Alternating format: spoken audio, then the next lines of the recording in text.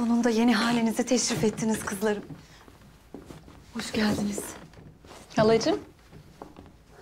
Hoş geldin Hatice. Saraydaki bu ölüm sözsüzlüğü niye? Biz geliyoruz diye mi yoksa? Kızlarım. Amcanız Abdülhamit'in vaziyeti çok kötü. Nasıl kötü? Maalesef amcanızı zehirlemişler. Hadi siz şimdi bir an önce odanıza yerleşin. Benim size konuşacaklarım var. Hadi. Hadi.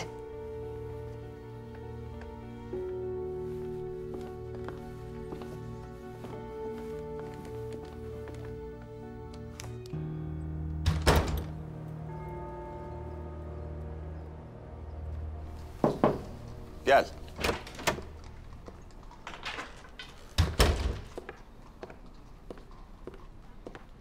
Sara'dan.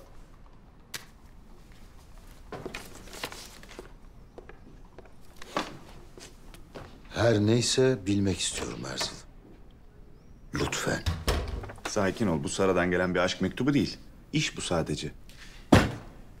Bak Erzil, dostluğumuza kaldığı yerden devam edelim.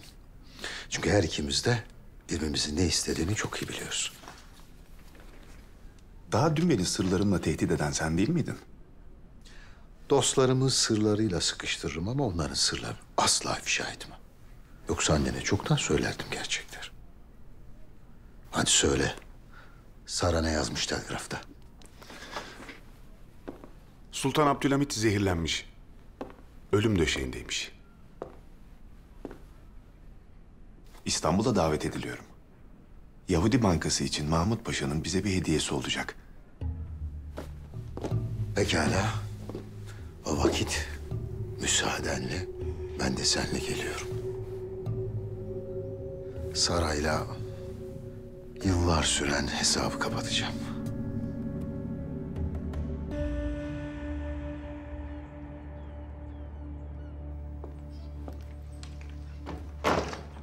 Hünkârım, Viyana'daki hafiyenizden devlet ebed müddet mührüyle bir telgraf geldi. Sanıyorum çok önemli bir havadis.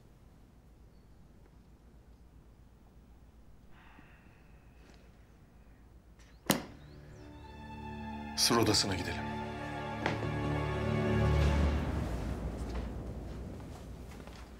Abla, acaba bütün kıyafetleri yerleştirmesek mi? Nedenmiş o? Amcam ölürse babam buraya gelmez ki. Yine Çırağan Sarayı'nda oturur. Yani? Yani devlet oradan idare eder. Biz de geri döneriz. Fehimeciğim, bunlar öyle ulu orta konuşulacak meseleler mi? Çeneni kapalı tut.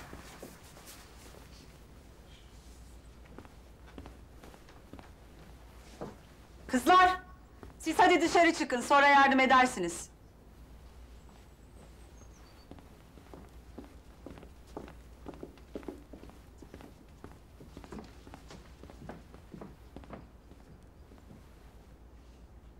Kızlarım, amcanızın vaziyeti kötü. Hekimler ümitli konuşmuyor. Geldiğimiz yere felaketimizi de getiriyoruz sanırım. Amcamıza bir şey olursa daha çetin meselelerle mücadele etmekten korkarım. Ben de sizinle bunun için konuşmak istedim. Siz de biliyorsunuz ki devletimizin başına defaatle benzer felaketler geldi. Hatta Fatih dedemizin bile zehirlendiği konuşulur. Lakin padişahlar ahirete irtihal etseler de pek tabii devletimiz devam etmiştir. Ne demek istiyorsunuz halacığım? Demem o ki biz yine de kötüsünü düşünelim.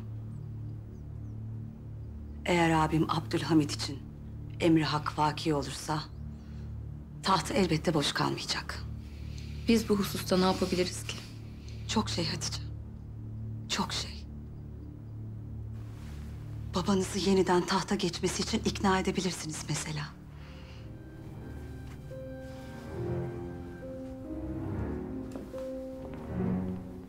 Hatice. Babanızı ancak siz ikna edebilirsiniz. Hemen bir mektup yazıp vaziyeti ona bildirin. Bunu neden siz yapmıyorsunuz ki? Çünkü abim Murat kızlarına daha çok itimat eder. Ben şimdi bir mektup yazsam hala tahta gözü var mı diye Abdülhamit'in bir yoklaması olduğunu düşünür. Ama size inanır güzellerim. Bunun sandığınız kadar kolay bir iş olduğunu düşünmüyorum. Abdülkadir Efendi tahta sahip çıkmak isteyebilir. Siz o kısımları hiç düşünmeyin. Enişteniz de ben de Sultan Murat'ın tahta geçmesi için çalışacağız. Siz sadece bir mektup yazıp babanızı ikna edin kafi. Yapacak mısınız?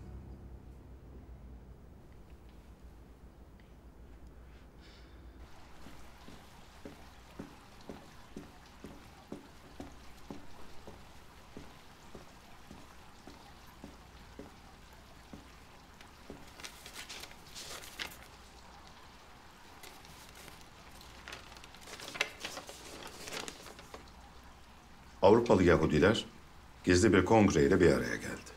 Theodor Herzl namında bir gazeteci kongrede Yahudilerin lideri oldu. Ve beş yıl içinde Yahudi devletinin kurulacağını söyledi. Bir banka kurmak için Yahudi işçileri arasında yardım kampanyası başlatıldı. Toplanan para çok cüz'i ama bu paranın borsa oyunlarıyla katlanacağı konuşuluyor. Sultanım bağışlayın ama ben bu jurnale pek bir mana veremedim. Hünkârımıza sıkıntı veren nedir? Eğer yalnızca bu Siyonist yıldızı çizmiş olsalardı... ...bizi pek alakadar etmezdi. Lakin bu iki çizgi... ...üstteki ve alttaki... ...biri Nil... ...biri Fırat'tır.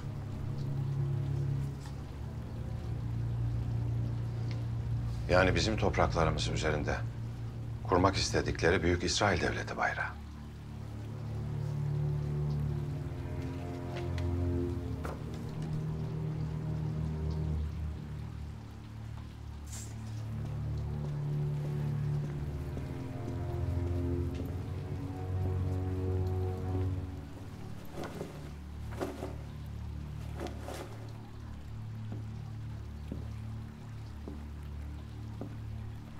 İşte İngilizlerin global monarşi dedikleri yeni dünya nizamı. Hedefleri Osmanlı'yı yıkıp yeni bir dünya nizamı getirmek. İşte bu yeni dünyanın yeni kalesi.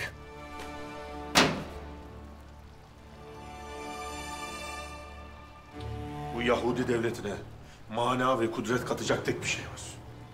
Global monarşinin Orta Doğu'daki kalesi olmasıdır. Hünkâr, buna kim mani olacak? Allah'ın bana güç verdiği sürece, Allah'ın bana ömür bahşettiği sürece ben ve milletim olacak. Peki hünkârım, bu yeni dünya nizamının şahı kim? İngiliz kraliçesi. Veziri kim? Kraliçeden de mühim. O kraliçeden de mühim. Bulacağız. Peki ya piyonlar? İşte bu zehirlenme tertibini bunun için yaptık. İçimizdeki haini bulmak için.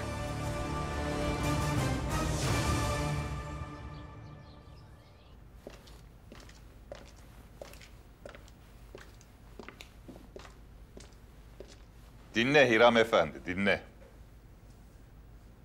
Sultan Abdülhamit, eli kanlı hafiyelerini peşime taktı.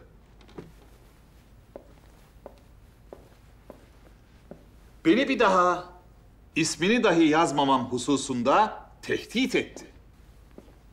Vaziyet o ki yazdıklarımız ulu hünkârımızı çok korkutmuş. Ey Kızıl Sultan! Şunu bil ki susmayacağız. Bu memlekette bir gün hürriyet güneşi doğacak. İsminin dahi yazılmasından korkan Sultan Abdülhamit. İşte adını yazıyorum ve haykırıyorum. Binlerce gençten kork. Beni sustursan dahi onlar, bu yazıdan ilham alanlar sokaklara dökülecek. O göğsüne nişan taktığın hafiyelerin, gençlerden merhamet dilenecek. Kork Abdülhamit, Kork.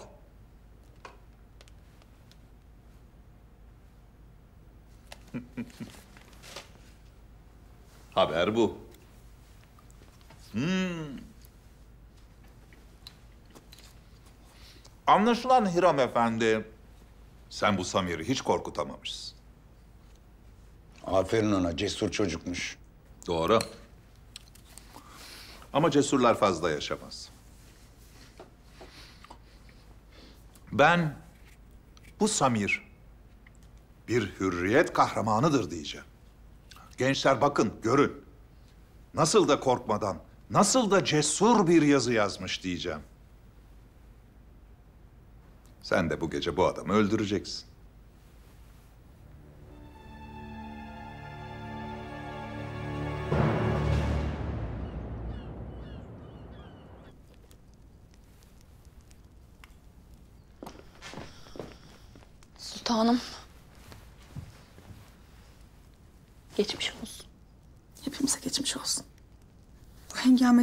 Sizinle alakadar olamadım. Rahatınız yerindedir inşallah. Her şeyimiz tamamdır Naime. Mektup kime? Sana daha evvel de bahsetmiştim. O yakışıklı beyim mi yoksa? Cesaretimi toplayıp hislerimi ilan etmeye karar verdim. Damat beyimizin kim olduğunu söylemeyecek misin? Önce beni bir kabul etsin.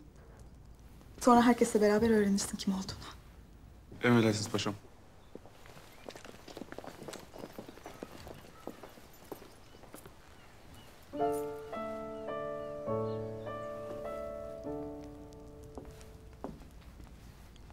Ben seni rahat bırakayım da yaz mektubunu.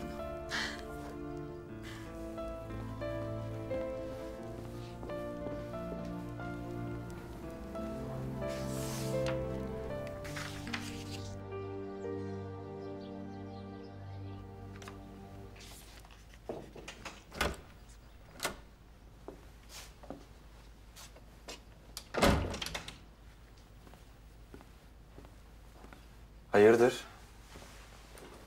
Gençlere ders vereceğim. İlmimi tazelemem icap eder. Bak, Moskov gavuru Bakunin ne demiş? Oku. Ancak imparatorluklar ve inançlar yıkıldığı zaman anarşistler için hürriyet meydana çıkar. Ee, ilmimizden gençler biraz nasiplensin. Sizin ilminiz mi, Moskov'un ilmi mi? Bakın, aynı adam şunu da yazmış. En ateşli anarşisti alın, ona iktidar verin. Bir yıl içinde en zalim imparatordan daha zalim olur. İktidarı ele alınca siz de Kızıl Sultan gibi olmayasınız. Bunları da anlatın gençlere. Canım, şimdi kitabın hepsini anlatmaya ne gerek var değil mi? Şehzademize uğradım bugün.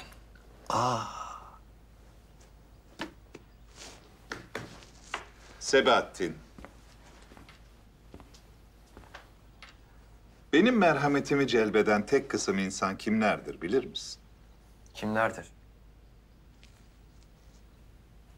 Yetimler. Şehzade Abdülkadir de çok yakında yetim kalacak. O yüzden üzerine pek fazla varmayalım. Olur mu? Siz yine de yetim diye çok acımayın isterseniz. Şehzade bu işin peşini bırakmamış. Öyle mi? Ne yapmış? Gazinoya davet etti beni. Canı sıkkınmış.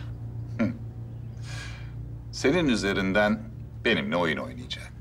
Evet. Ama ne isteyebilir ki benden? Bunu bu gece senden bu anahtarı isteyecek.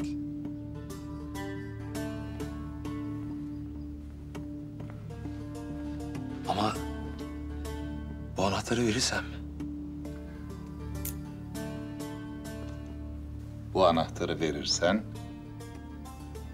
Şehzade Abdülkadir'in sarsılmaz bir itimadını kazanmış olacaksın.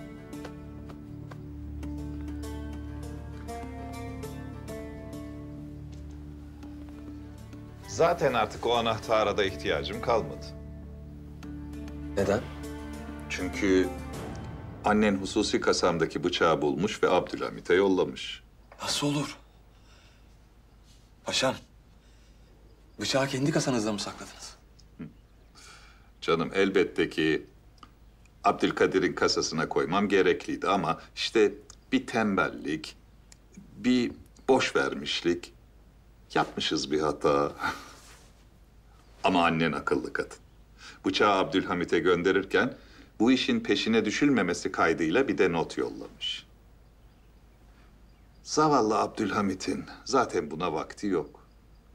Zehir vücuduna yayılıyor bıçağın peşinden gidemez.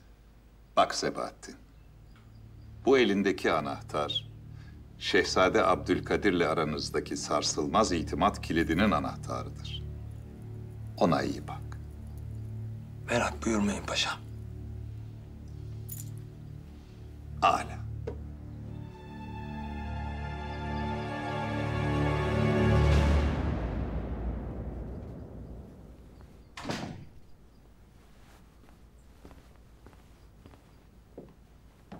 Sen de mi aşk mektubu yazıyorsun?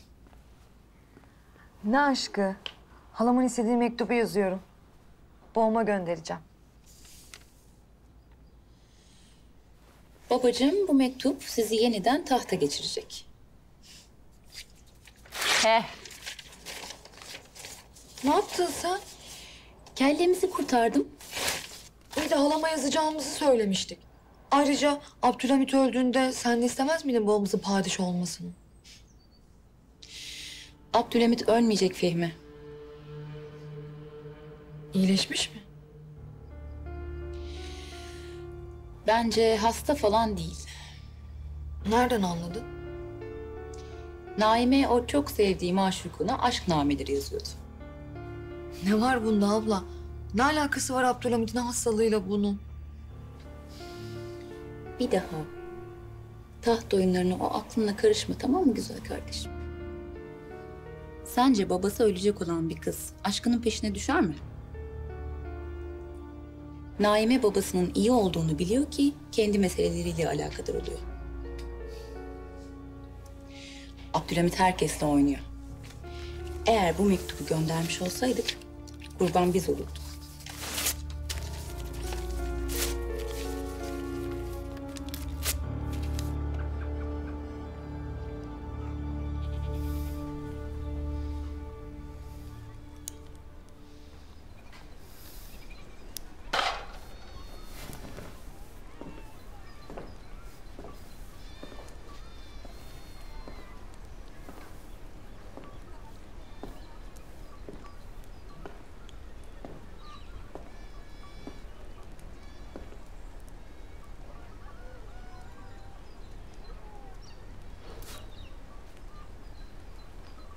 Hayırdır Ömer Efendi?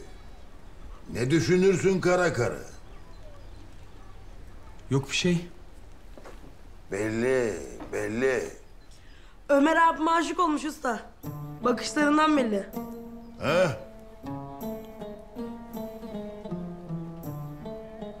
Bir keresinde ben de aşık olmuştum. Adı da... eee, adı, adı Ayşe evet, adı Ayşe. Beş yaşındaydım o zaman. Ayşe evlendi. En acısı ne biliyor musun Ömer abi? Ayşe'nin çeyiz sandığına beni oturtturdular. Ağırım ya, fazla bahşiş koparım diye. O damat olacak herif bahşiş de vermedi. Ayşe'yi de aldı gitti. Toraman, Toraman. Git dışarıyı süpür, kırarım bacaklarını, yürü! Lan aşık olmuşmuş.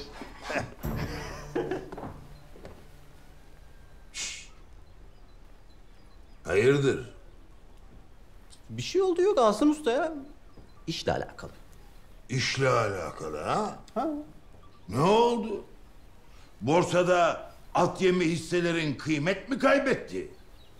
İşle alakalıymış.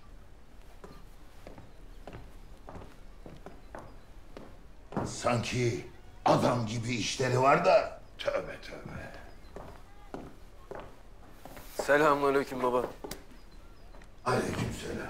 Ve aleyküm selam Celal.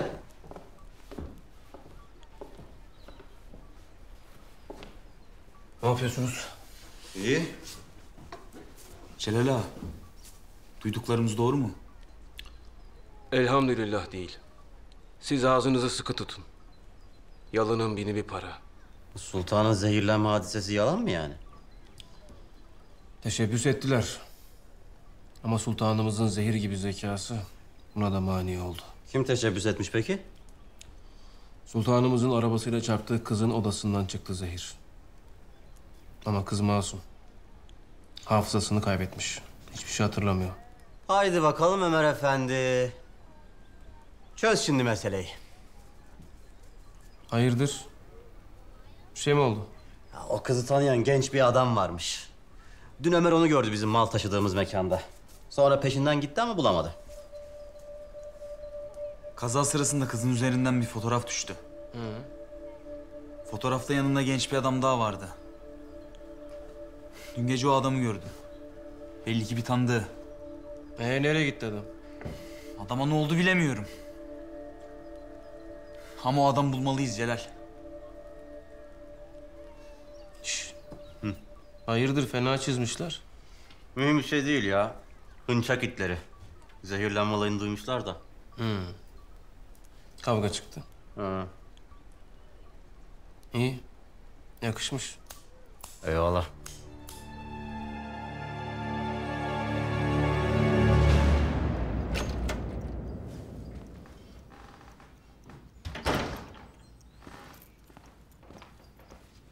Hünkârım, Theodor Herzl'la alakalı jurnal tamamlandı. Tamam olanı bekletmeyelim. Buyurun Tahsin Paşa. Theodor Herzl, Viyana'da yaşayan bir Yahudi sultan.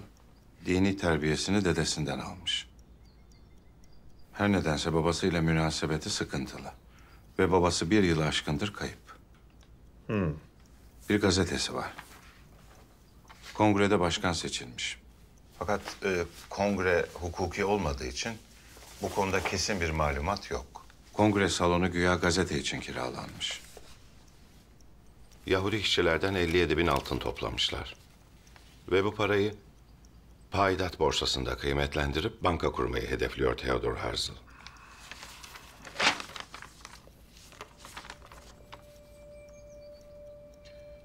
Kudüs, Kahire, Şam, Bağdat, Diyarbakır, Urfa, Antep ve dahası. Neden bu coğrafya, bu harita hünkârım? Yahudileri vaat edilmiş topraklar masalına inandırmak için. Paşa, Peki bu rüya gerçekleşir mi? ben bu rüyayı onlara kabusa çevireceğim. Lakin İslam aleminin uykusu uzun sürerse korkarım bu Müslümanların kabusu olacak. Peki diyelim arzu ettikleri gibi Yahudi devletini kurdular. Ne netice umuyorlar?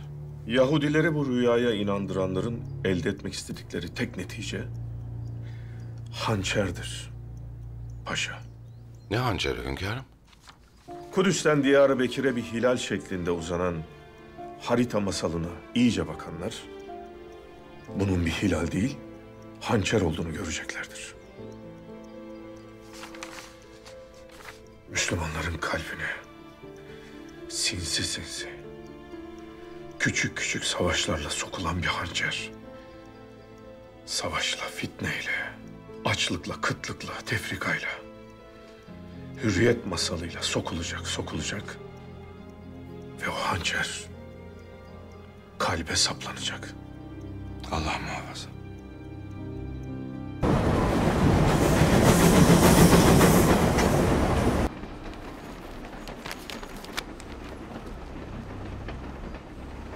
Yıllar evvelki masum delikanlıyı görüyorum. Tüm kalbimle mazimdeyim.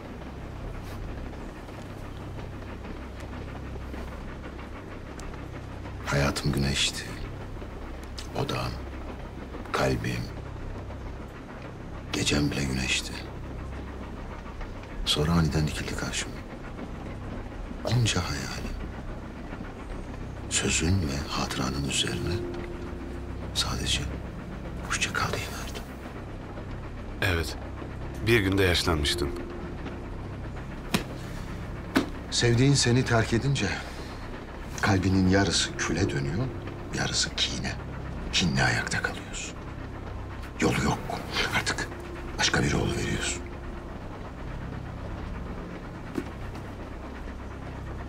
Karını seviyor musun Teo? Başka bir kadını sevmeye cüret edemeyecek kadar karımdan korkuyorum dostum.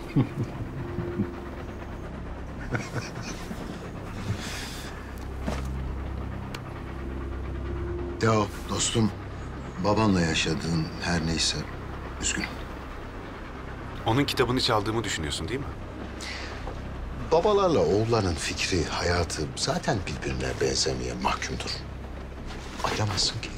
Seni saraya götürmeseydim başka türlü konuşurdun. Ben yine seninle aynı fikirde değilim dostum.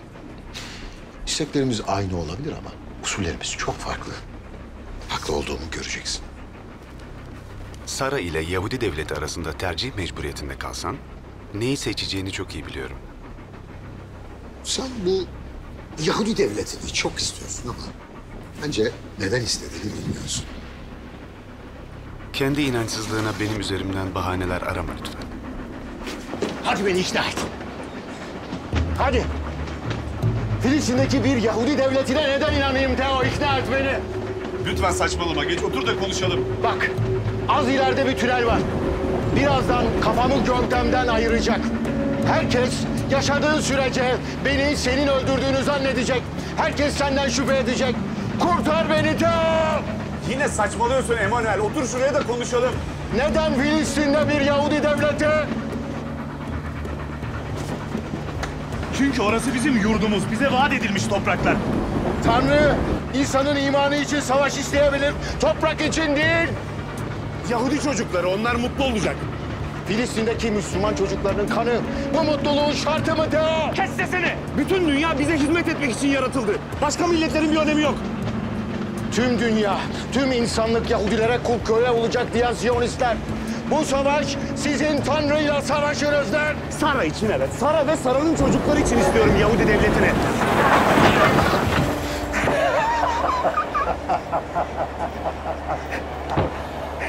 İşte hakikat, işte gerçek.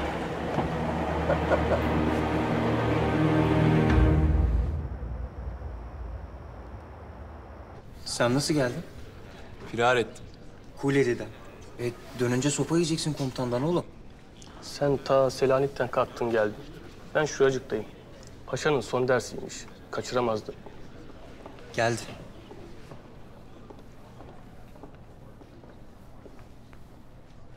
Paşamız birazdan teşrif edecekler.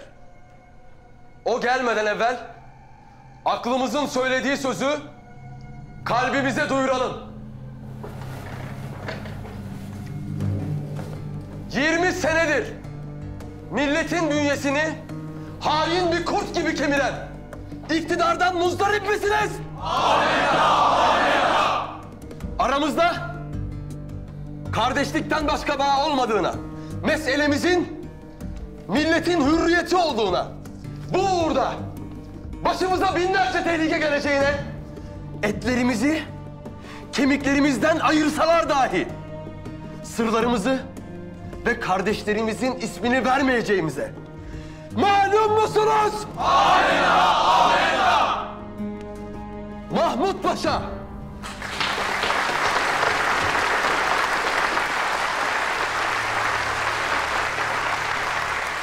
Şehzademizi fazla bekletme.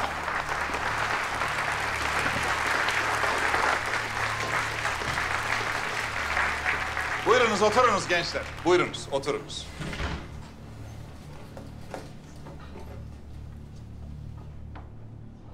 Bu elimde görmüş olduğunuz kitap anarşizmin kurucusu Bakunin Efendi'nin bir kitabı. Okumanızı şiddetle tavsiye ederim. Ne diyor Bakunin Efendi?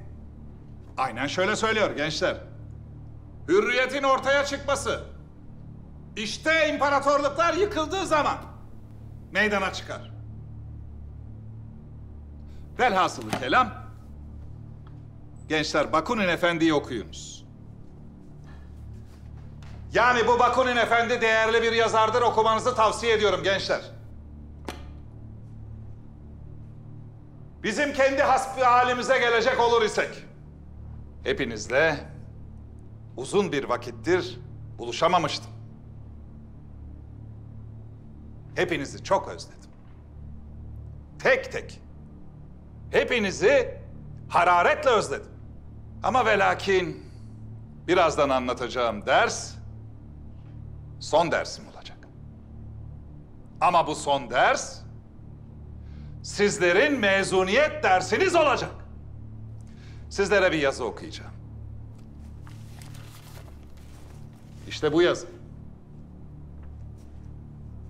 Genç bir yazar kardeşimizin yazmış olduğu bu yazı sizlerin mezuniyeti olacak.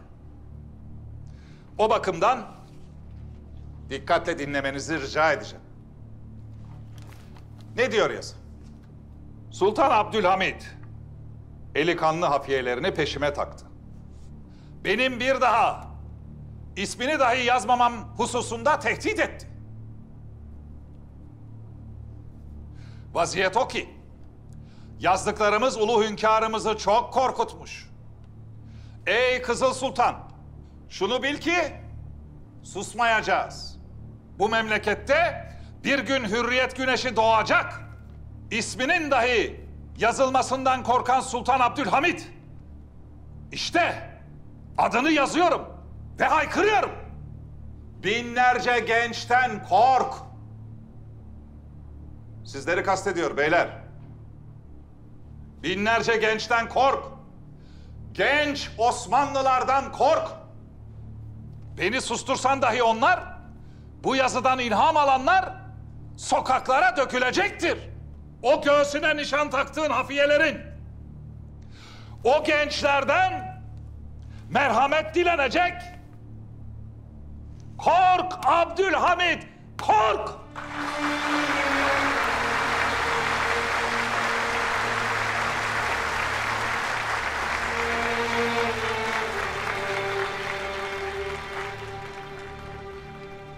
İşte beyler.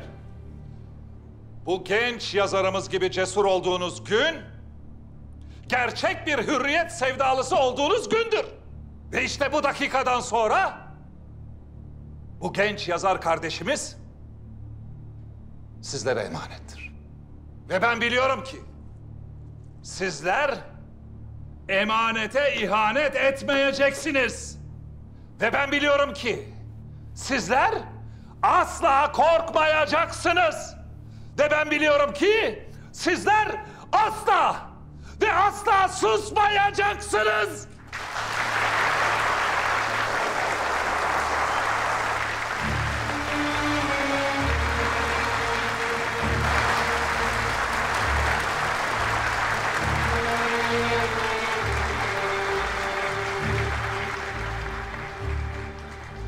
Sevgili gençler, hepinizi sevgiyle selamlıyor ve hepinizi de vazifeye davet ediyorum. Saygılar sunuyorum. Saygılar gençler. Saygılar sevgiler. Saygılar.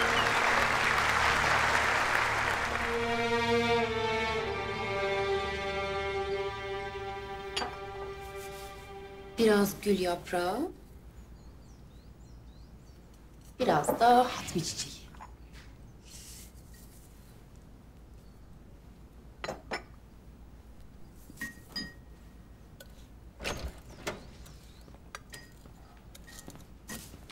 Ne yapıyorsun ablanın sultanı? Görmüyor musun? Sanki biraz abartmıyor musun abla? Bu zamanda beğenilmek kolay mı?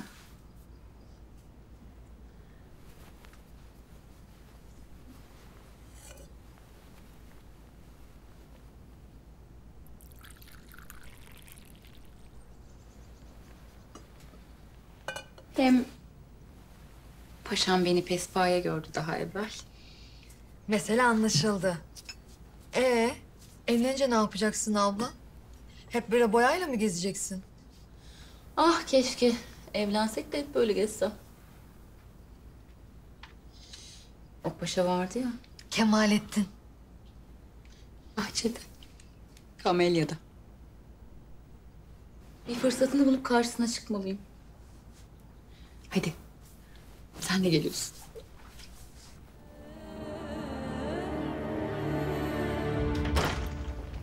Sultanım. Ne bu telaşınız? Nereye gidiyorsunuz? Bahçede biraz hava alacaktım. Siz de gelmek isterseniz... Elbette sultanım, memnuniyetle. Bu kederli vaktinizde yanınızda olmak boynumuzun borcu. Babam. Babam.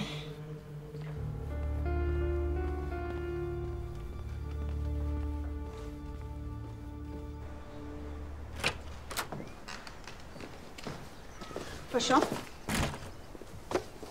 Sultanım. tanıştırayım. Amcam Murat Efendi'nin kızları Hatice ve Fehime Sultanlar. Gazi Osman Paşa'nın mahdumu Kemalettin Paşa. Memnun oldum. Ben de. Aa, ne okuyorsunuz?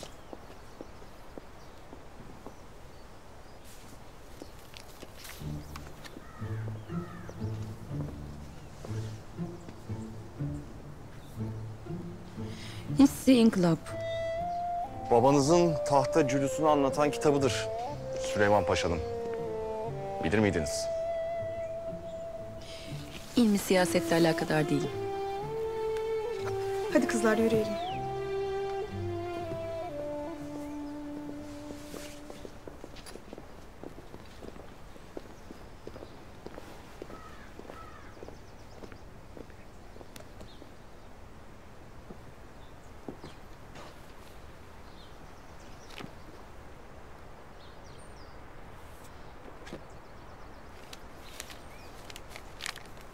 Paşam, saadetinizi arttırmaya talibim. Sizi ilk gördüğüm andan beri kalp kuşumun uçmasından korkuyorum.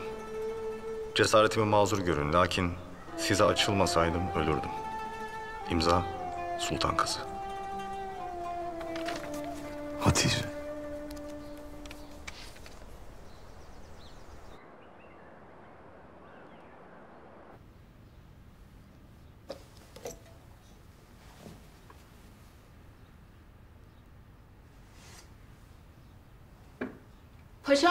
Açtı. Hemen hekime haber ver.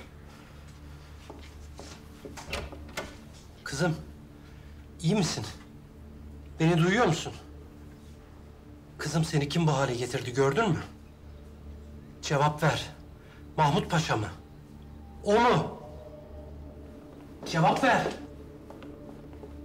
Cevap ver. Paşam müsaade edin.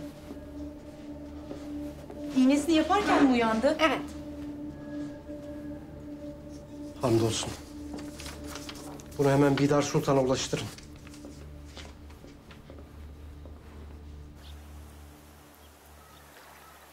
Muhterem paşalar.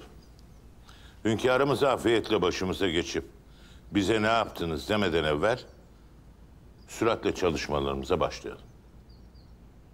Haklısınız efendim. Zaten bu tür hassas devirlerde e, devletin içinde zerrece kadar gevşeklik olsa halk bundan çok büyük şüphe duyuyorlar. Hakkınız var Mahmut Paşa. Hünkârımızın sıhhatiyle alakalı söylentilerin önüne geçmenin tek yolu devlet işlerine hız katmak. Evet efendim.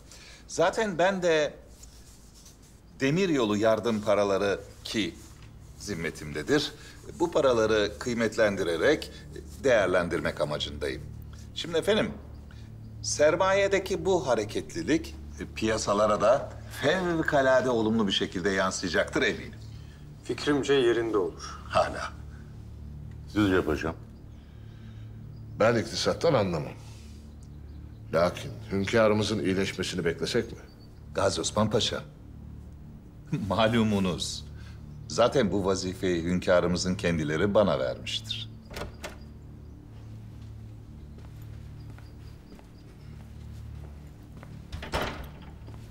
Elimde olmayan sebepten geciktim. Affınıza sığınırım. Estağfurullah. Oturmadan adliye nazırımızdan bir ricam olacaktı. Hünkârımızı zehirleyen kız bu akşam adli nezarete teslim edilecek. Mahkeme işlerini takip edip bize malumat verirseniz bahtiyar oluruz. Baş üstüne paşam. Merak buyurmayın. Mahmut Paşa da bizlere demir yolları için toplanan yardım paralarının nasıl değerlendirileceğini anlatıyor. Öyle mi? O değerli fikirleri ben de dinleyebilirsem müteşekkir olurum. Memnuniyetle Tahsin Paşam.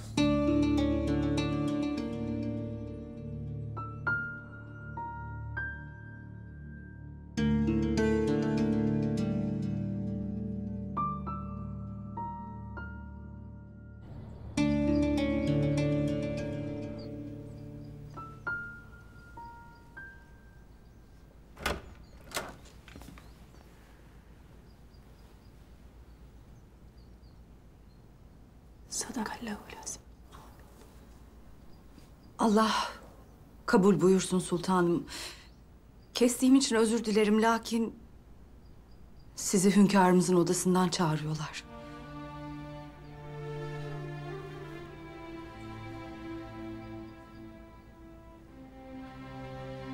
Vaziyeti? Bilmiyorum sultanım.